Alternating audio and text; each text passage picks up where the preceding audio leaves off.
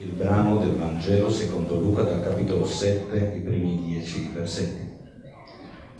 Dopo che egli ebbe terminato tutti questi discorsi davanti al popolo che ascoltava, entrò in Capernaum. Un centurione aveva un servo, molto stimato, che era infermo e stava per morire. Avendo udito parlare di Gesù, li mandò degli anziani dei giudei per pregarlo che venisse a guarire il suo servo. Essi, presentatisi a Gesù, lo pregavano con insistenza dicendo, egli merita che tu gli conceda questo perché ama la nostra nazione ed è lui che ci ha costruito la sinagoga.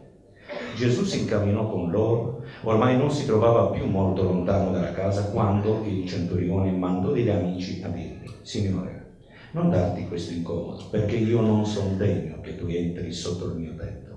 Perciò non mi sono neppure ritenuto degno di venire da te ma di una parola e il mio servo sarà guarito.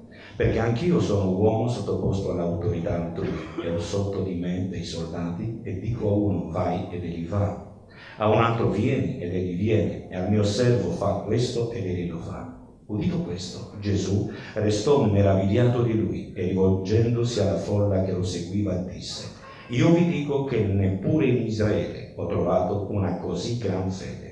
E quando gli inviati furono tornati a casa, trovarono il servo guarito. Amen. Vi prego di accomodarvi. Questa mattina la parola di Dio ci parla de, della fede. Cos'è la gran fede? A volte la fede non ha, non ha niente a che fare con la religione e la religione non ha niente a che fare con la fede. Ci può essere ci si può essere religiosi e non avere fede. E infatti Gesù stava parlando al popolo di Israele, il popolo religioso che aveva la religione, ma tanti di loro non avevano la fede. E c'era un uomo che era al di fuori di questo popolo, che non era un religioso come loro, però aveva una gran fede.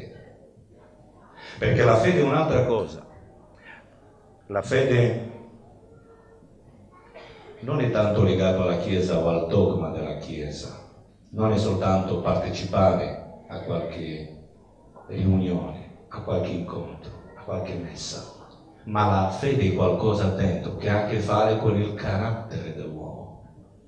Perciò questa mattina vedremo come questo centurione romano, questo pagano, così era considerato dai religiosi giudei, un pagano, però un pagano che è venuto lì in Israele, lui era praticamente un nemico, perché l'impero romano ha conquistato Israele.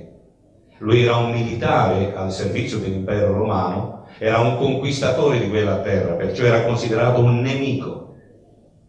Però prima di essere un militare lui ha capito che bisogna essere uomo.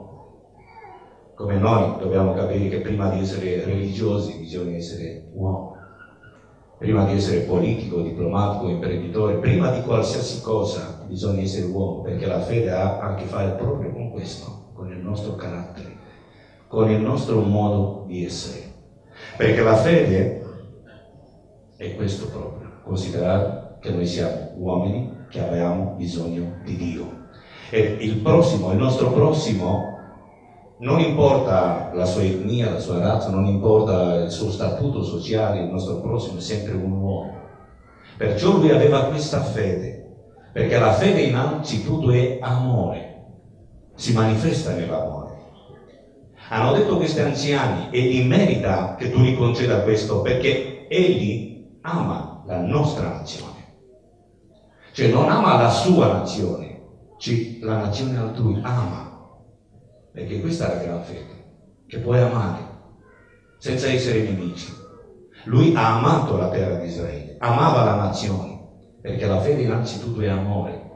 Se tutti gli altri odiavano i popoli dove andavano, questo centurione romano ha amato la nazione di Israele.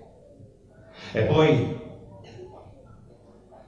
ha amato anche il suo servo. Sapete, quei, a quei tempi il servo era come una macchina, anzi peggio di una macchina, perché una macchina almeno la curi.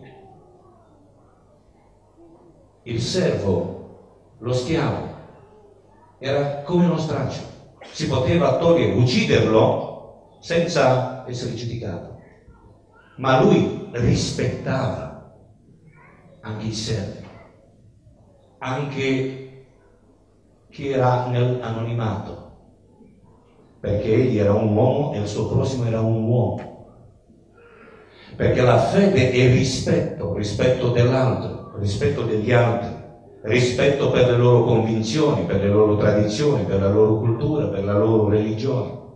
Di solito a quei tempi, quando c'era una guerra, questa guerra non era soltanto una guerra tra i popoli, ma una guerra tra i dei di quei popoli.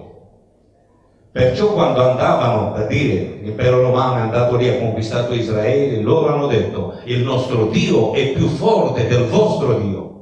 Allora andiamo nel Tempio, bruciamo tutto, distruggiamo tutto per far vedere che il nostro Dio è più grande e imporre il nostro Dio qui. Ma lui non è andato così. Anzi, lui ha costruito la sinagoga, lui ha rispettato la convinzione. Lui ha rispettato la gerarchia giudaica, lui ha rispettato eh, le loro tradizioni, la, la loro cultura. Ed è questo che è stato molto, molto importante per loro. Perché la, la fede è amore e la fede è rispetto per gli altri e per la loro religione. La fede è anche impegno nel sociale. Quest'uomo è andato a fare del bene al popolo di Israele. La fede e impegno anche nelle cose di cui la gente ha bisogno. La fede è anche rispetto dei valori morali ed etici. Di solito quando si va in guerra ci si porta, ci si spazza via proprio tu, tutti i valori morali ed etici. Quest'uomo è andato lì, ha rispettato tutto, ha rispettato la gente, ha rispettato le donne, i bambini, gli anziani, perché di solito in guerra non si tiene conto proprio di niente. Ma quest'uomo ha saputo cos'è la fede, perché la fede è innanzitutto amore e la fede è rispetto per gli altri, rispetto per i servi, rispetto per i sacerdoti, per il tempio, per la sinagoga, rispetto per tutti quanti, rispetto per la loro cultura. La fede è amicizia anche se lui doveva essere considerato un nemico di Israele, lui ha saputo farsi amici. Infatti, davanti a Gesù sono andati i suoi amici per dire, Signore, io non sono degno, perché la fede è basata sull'amicizia, perché la fede è una relazione, una comunione con Dio, ma non ci può essere comunione con Dio se non c'è comunione con gli altri. La fede è anche altruismo questo centurione non è andato a pregare per lui, per la sua famiglia. Non era lui il malato, il malato era un altro. Lui pregava per un altro, lui pensava ad un altro, perché la fede è altruismo. Non è egoismo, non è solo per me, non sono solo io, ma ci sono altri. La fede è anche umiltà. Lui non si è ritenuto degno di andare davanti a Gesù non si è ritenuto degno che Gesù entri nella sua casa, anzi è stato molto umile. E per, per questo proprio ha detto, io non sono degno, non sono degno di andare davanti a te, non sono degno che tu entri nella mia casa. La fede è anche umiltà. Lui, lui non era arrogante, come per esempio era Pilato, che ha detto a Gesù, non sai che io ho il potere, non sai che io faccio quello che voglio con te. Ma lui è andato a Gesù, da Gesù, in modo umile. Anzi, non è andato proprio, ha mandato gli altri, ma non per, perché era arrogante, perché era umile. Perché la fede è umiltà, la fede è sincerità, la fede è semplicità.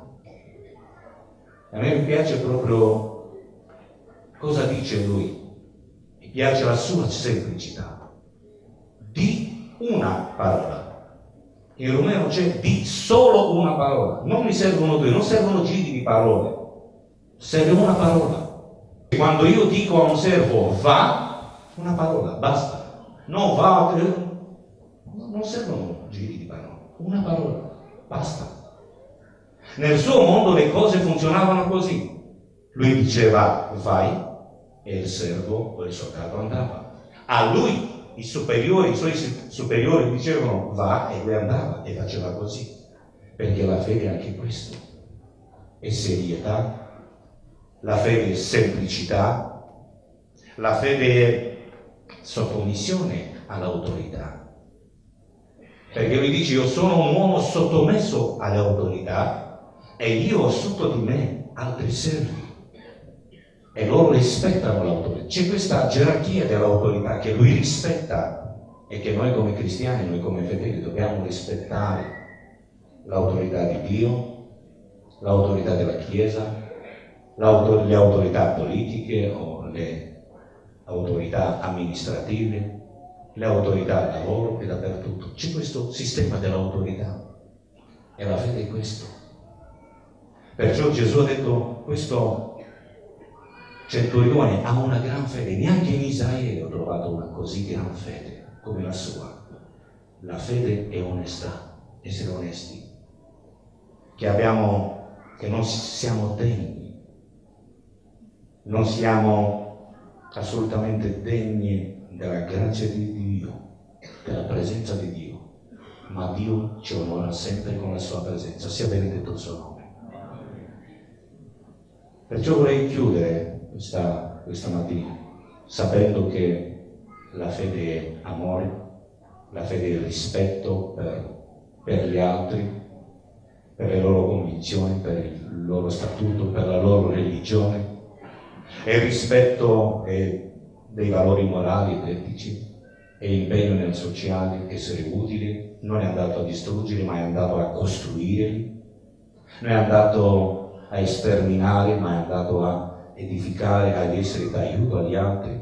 Lui è andato lì, ha saputo farsi amici, perché la fede è amicizia, la fede è semplicità e sincerità e serietà e altruismo la fede è sottomissione all'autorità, la fede è onestà. La parola di Dio ci dice, perché c'è una domanda di Gesù, ma quando verrà il figlio dell'uomo, troverà egli la fede sulla terra? Non chiede Gesù se troverà chiese, chiese ne saranno migliaia, ma se troverà fede non se troverà fedeli o cristiani o religiosi, ne troverà milioni, miliardi, ma si troverà fede. Perché senza la fede è impossibile piacere a Dio. Chi si accosta a Dio deve avere fede che Egli è e che ricompensa tutti quelli che lo cercano.